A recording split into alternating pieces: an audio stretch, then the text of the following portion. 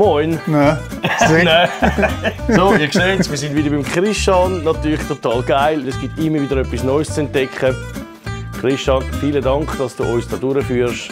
Kein Problem. Und bei euch bleibt spannend, was passiert auch heute.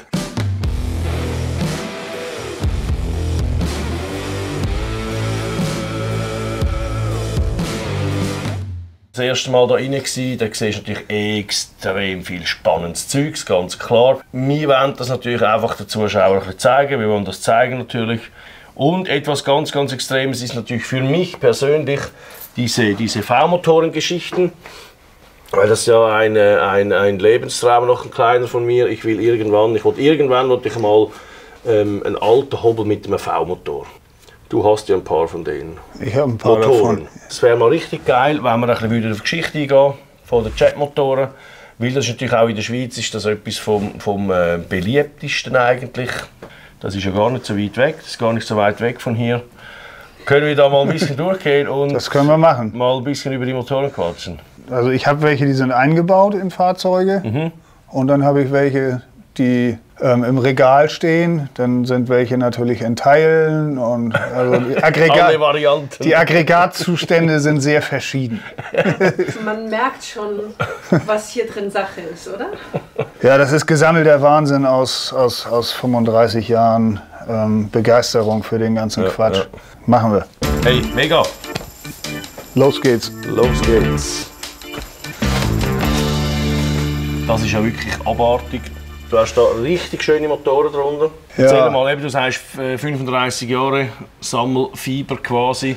Genau. Und du kaufst die teilweise komplett, aber viele glaube ich auch einfach in Gehäuse. Du kaufst Ja. das Gehäuse, Zylinder, Ja. da liegen ja endlos viele Zylinder nur schon rum und so weiter. Ja, also das hier, das ist die Matchless-Abteilung. Das Ja. sind Matchless V2-Motoren, ähm, SS80 Bruff. Die Motorengehäuse, also Kurbelgehäuse, Kurbelwellen, die sind gerade alle zur Überholung weg. Insofern nicht anzugucken. Alle. Und ja, außer die, die eingebaut sind in die Fahrzeuge. Ja, du verbringst da viel, viel Zeit auf Märkten und so, oder? Ja, doch. Also inzwischen natürlich, aber auch im Internet. Ne? Ja, ja, ja. Also das ist heute ganz einfach die Quelle, wo du, Ja, klar. wo du an die Sachen dann Am schnellsten ähm, rankommst. Ja, ja. Das hier ist ein ähm, 1929er JOR, das heißt, das ist der Langhub Racing Motor von, von Jap. Den habe ich mal fürchterlich besoffen auf dem Teilemarkt in Polen gekauft. Das hier ist ein ähm, 1924er SOR, das ist der Kurzhub-Rennmotor 350. Da habe ich, noch einen- Wahnsinn. habe ich noch einen zweiten in Teilen liegen. Das hier ist die, sag ich mal, etwas kultiviertere Ausführung von dem Rennmotor, von dem 350er, also- also auch ein Kurzhub 350er. Den habe ich mal auf irgendeiner Auktion in England erworben. Auf der ganzen Welt unterwegs.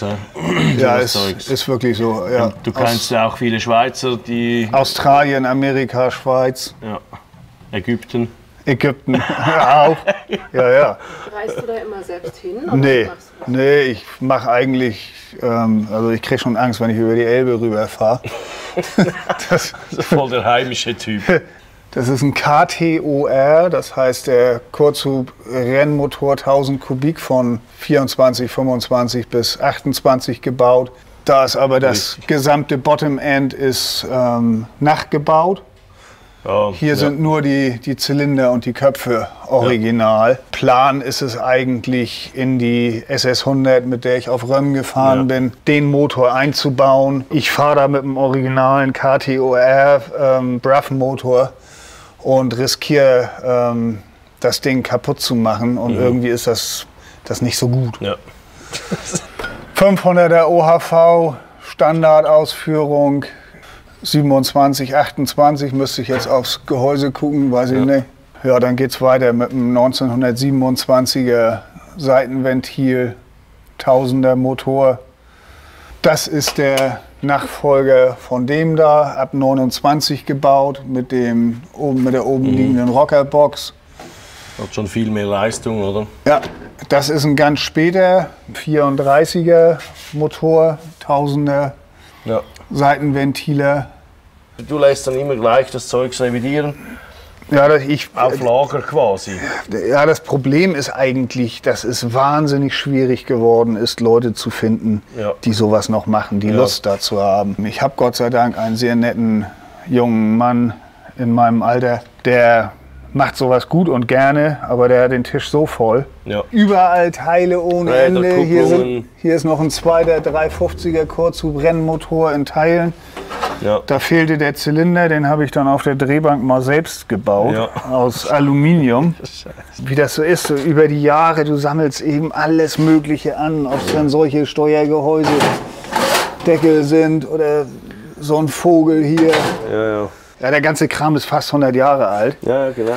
Ja, und dann hast du natürlich überall solche ähm, Pleuelsätze rumfliegen und Nockenwellen. Ja. Und, Ja, äh, da ist noch ein, jetzt eingebaut im Fahrgestell, ein Ja.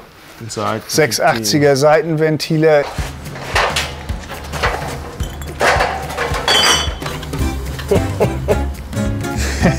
ja, das ist so dieser typische ähm, SS80 Motor von Bruff. Der hier ist aus einer 1927er SS80.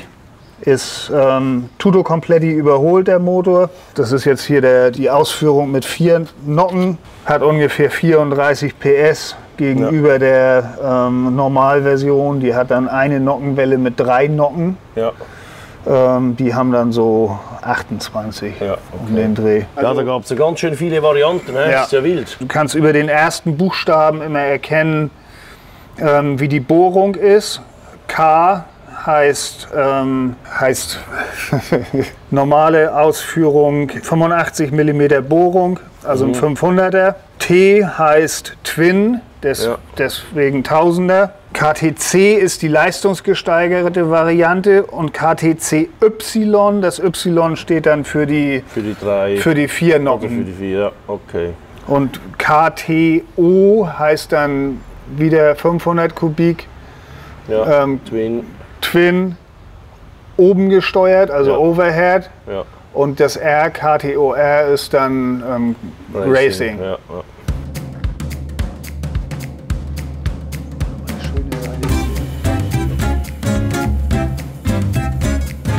ja. Äh, ich glaube, das Ding heißt M4, Ja. Baujahr 36. Die ist neu nach Dänemark ausgeliefert worden. Ich habe tatsächlich noch den, den Brief von dem Ding von 1936. Ähm, die gehörte Magnete Jens, so hieß er. Magnet Jens, oder? Magnete Jens. Magnete. Ja, weil der, der hat immer Zündmagneten repariert. Ja. Deswegen war er in Dänemark unter Magnete Jens bekannt. Ist ja keine Riesenfirma gewesen, Ja, ja, Calthorpe. genau. Nicht, nicht vergleichbar mit Royal Enfield oder Ja, BSA. niemals, ja. Die haben immerhin ihre eigenen Motoren ja, gebaut. voll, genau. Ähm, Im Gegenteil zu früh. und, und ähm, vielen anderen, die dann auf Einbaumotoren Ja. zurückgegriffen haben. Hat einen Viergang Burmann, fußgeschaltetes Getriebe. ja. Ähm, läuft super das Ding. Einzige ist, ähm, ich komme nicht dazu, die zu fahren. Irgendwie. Sollen wir mal gucken, ob wir sie ankriegen? ja, da fehlt noch ein Schwimmerdeckel. hä? Ja, der fehlt extra, damit man da Benzin reinkippen kann. ja, das Blöde ist immer bei diesen englischen Motorrädern, die haben doch diese ähm, Benzinhähne mit zwei Seiten Kork. Ja, ja, genau. Die verkleben oder trocknen aus. Ja. Wenn du dann jetzt in den Tank Benzin reinkippen würdest, dann würde das am Benzinhahn von links und rechts überall rauslaufen. ja. Special Competition Modell mit Okay. hochgezogenem Auspuff, Ja.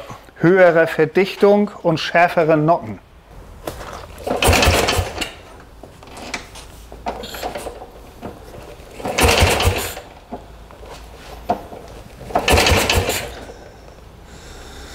Ich weiß gar nicht, wie das mit der Ja, eben, das ist immer so eine Sache. Hä? Ja, zu viele Hebel. Hm. Vor einem Vierteljahr ging das noch wunderbar. Ist trocken. Bitte nicht treten. Doch. Eigenartige Sache. Kanäle zu wahrscheinlich.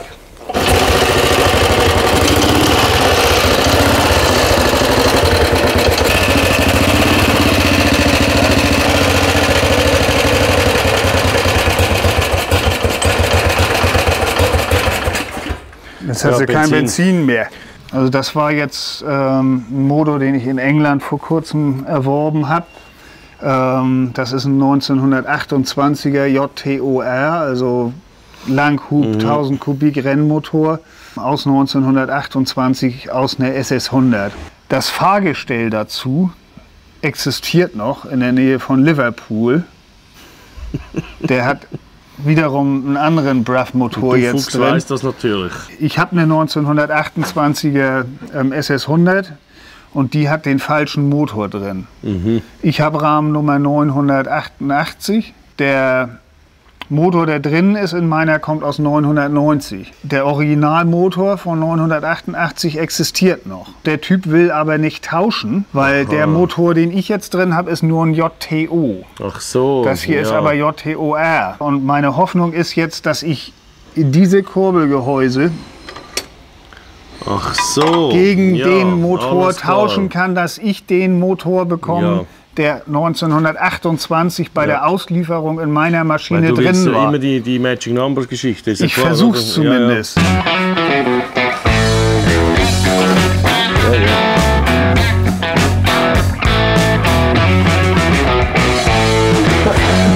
Ja.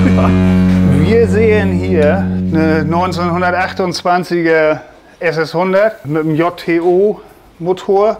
Die, wofür ich den anderen Motor zum Tauschen brauche. Ist eigentlich fast gut, aber reicht, nicht reicht mir noch nicht so ganz. Also ich hätte wirklich ganz gerne den originalen Motor dazu.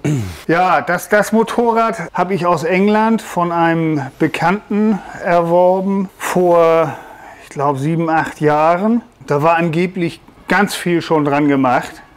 Als wir den Motor aufgemacht haben, haben wir nur die Hände über dem Kopf zusammengeschlagen. Der komplette Pleuelfuß unten, ähm, alles im Eimer, alles zerrömert. Die, die, die Lagerrollen fielen uns da entgegen. Ähm, das Einzige, was gut gemacht war, ähm, waren die, die Zylinder tatsächlich und die dazugehörigen Kolben. Das war das Einzige, was handwerklich in Ordnung war. Ist einmal komplett nochmal gemacht worden. Also wirklich den ganzen Lack wieder runtergeholt. Nochmal bei Null angefangen. Wirklich wie mit einer Grotte. Alles auch neu vernickelt. Also du hast Ja, ja. komplett. Ja, gut. Ja, ja, das war also ein reiner ähm, Stahltank Ja. ohne irgendwelche Farbe oder Nickel drauf. Ja. Ähm, das ist komplett neu gemacht worden. Ähm, einige Leute wundern sich vielleicht, warum die Kotflügel so komisch ähm, vernickelt sind. Ähm, Geheimnis der Geschichte. Dieses Motorrad ist das 1928er Showbike. Das heißt, genau dieses Motorrad hat 1928 im November bei ähm, George Bruff auf dem Ausstellungsstand ah, okay. gestanden, so ähnlich wie IAA in, in Ja. Deutschland, in Frankfurt gab es das für Motorräder in England, Ja. nannte sich dann Earls Court Show und da hat dieses Motorrad gestanden und war praktisch das ähm, Anschauungsmodell Ja. für die 29er Baureihe. Okay, darum ein bisschen mehr Nickel als So, und deswegen, genau. Als sie neu war, war noch mehr Nickel. Wir haben ähm, an der Gabel Nickelreste gefunden Ja. und sogar am Rahmen Nickelreste gefunden. Ah, okay. Und ein gewisser Herr Mayher, ähm, das war so ein, sag ich mal, Stammkunde bei George Bruff, Ja. ähm, der hat immer seine Motorräder bei George Bruff bestellt als all-plated. Ah, Das okay, heißt komplett galvanisiert. Ja. Und so wie es aussieht, ähm, war das Ding sogar ähm, am Rahmen und an der Gabel Ah, wild. komplett okay. vernickelt. Ja, ja. Da habe ich dann aber gesagt, Alter, das, hält, das halte ich mit dem Auge nicht aus. Okay, ja. Ich finde eigentlich diese Kotflügel schon völlig übertrieben. Ähm, hab's dann aber als Zugeständnis zur Originalität dann so gelassen. Wenn wir hier schon auf der Ecke mit den Raritäten sind, ich ziehe das hier mal raus. Auch was mega selten ist. Das ist eine 1900, richtig geil. 1927er McEvoy. Das ist einer von den Konkurrenten von George Bruff gewesen. Das ist ein Tausender British Ansani Motor da drin. Und das gehört auch so zusammen, das Ganze. Das ist Ah, also echt? originales Fahrgestell, Ja. kein Fake. Und der zugehörige originale Motor. Der Motor ist fertig. Ja. Der ist komplett gemacht. Jetzt fehlt nur noch ein bisschen was. Ja.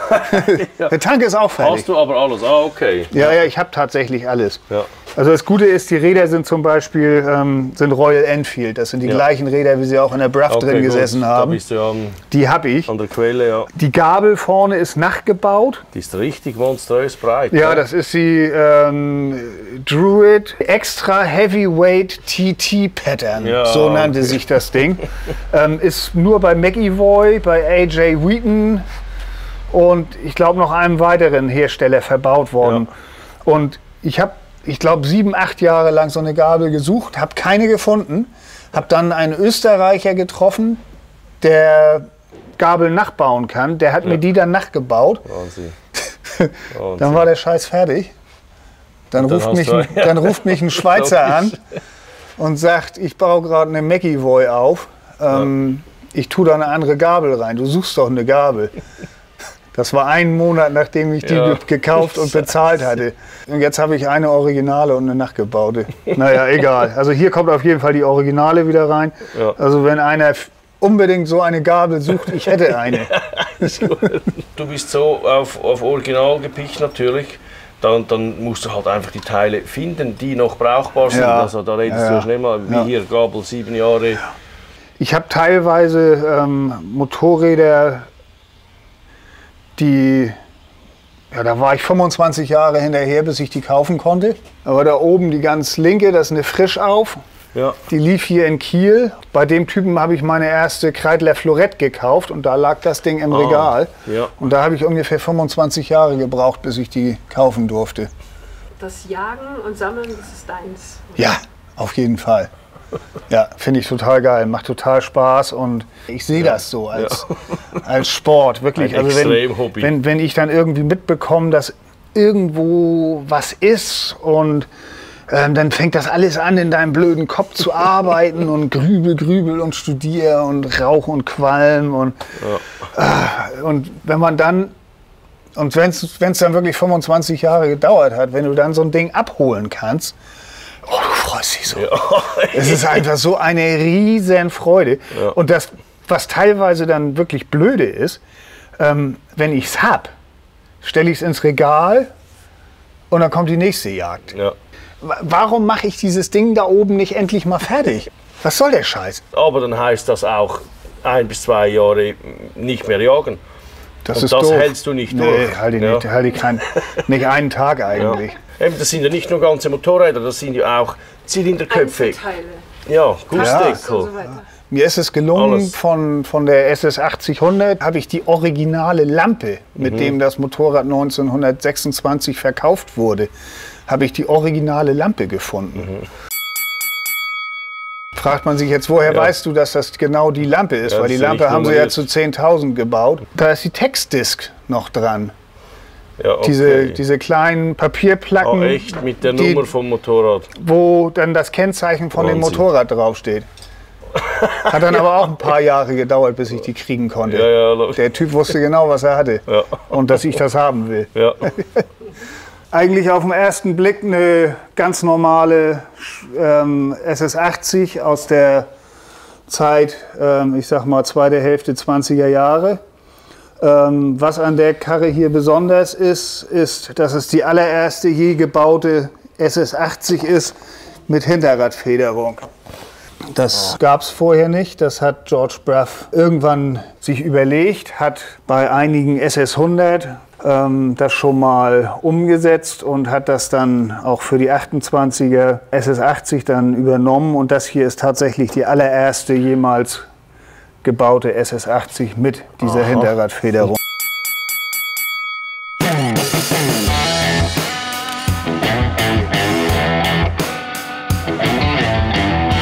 Danach gab es die nur noch oder gab es die Varianten Star Star gab es auch noch. Ja. Okay, ja. 1000 Kubikzentimeter V2-Motor in Seitenventilausführung. Das hier ist der KTC, das heißt der mit circa 30 PS, mit ähm, einfacher Nockenwelle mit drei Nocken drauf und etwas größeren Ventilen. Dadurch hatte der so 2, 3 PS mehr als der ganz normale. Was bei dem Motorrad falsch ist, ist der Tank. Der ist von einem Motorrad aus dem Baujahr 31. Das Vorderrad ist auch ab 31 in der Form gebaut worden. Also die ist so ein bisschen, ich sag's mal grob zusammengewürfelt, die Ja. Maschine. Aber Rahmen, Motor und Getriebe haben Matching Numbers. Da ist offensichtlich einiges im Laufe des Lebens von diesem Motorrad mal verloren gegangen und das wurde dann einfach ergänzt. Klar. Ich finde das auch nicht schlimm. Wenn was kaputt geht, dann ersetzt es halt. Und wenn das, Genau. wenn das ja was Neues gibt, was, was besser ist, wie jetzt zum Beispiel Bremse vorne, die, sind, die haben dann mehr Durchmesser oder irgend sowas, ja, klar haben sie das dann montiert. Das ist ja Ja. logisch, oder? Beim Tank ist das so, dass hier ähm, das Benzin drin ist. Da unten ist der Öltank. Ähm, als die Maschine ausgeliefert wurde, hatte sie einen Tank, ähm, wo vorne ein Abteil für Öl noch mit drin war und eine kleine Ja. Handpumpe. Ja. Das heißt, eigentlich gehört hier unten bei dem Ding überhaupt kein Öltank ran. Das ist so diese Art und Weise, wie bei den gefederten ähm, Rahmen der Auspuff am Hauptrahmen ähm, befestigt wurde. Der musste ja am Hauptrahmen befestigt Genau. werden, weil hinten alles immer hoch und runter ging. Wir nennen das in Fachkreisen auch die sogenannte Wackelvorrichtung. Ähm, was auch ganz interessant ist bei dem Ding, ist, dass diese Schaltung da noch dran ist mit dem langen Schwert. Das ist eine Schaltung, die eigentlich zu der Zeit bereits ähm, gar nicht mehr lieferbar war. Und das Also. Ding ist, ist witzigerweise ist vom Baujahr her eine 27er, ist aber erst 29 offiziell zugelassen worden, weil George Bruff die ähm, mit seiner persönlichen Nummer Ja. erstmal gefahren hat. Und das war eigentlich nicht zulässig, also man durfte Nummern nicht tauschen. Ja. Der hat es aber einfach gemacht. Deswegen gibt es ganz viele Motorräder von ihm, die dann seine persönliche oder sein persönliches Nummernschild getragen haben. Und ich habe auch tatsächlich ein Foto noch von diesem Motorrad, wo man auch sehr schön den Originalzustand sehen kann, wie es ausgeliefert worden ist. Christian, Christian, Ja, also ich kann dir sagen, es ist einfach total geil. Ich drehe durch. Es könnte einfach, da können wir noch tagelang könnten wir dann rumlaufen und irgendwelches Zeug füreinander anschauen. Du hast einfach du mal Urlaub nehmen. Dann machen wir das einfach. Richtig. Weil du hast einfach Stories dazu, er hat unglaublich zu jedem Ding hat Geschichten und du kannst ja auch das Zeug alles merken. Finde ich echt krass in deinem Alter.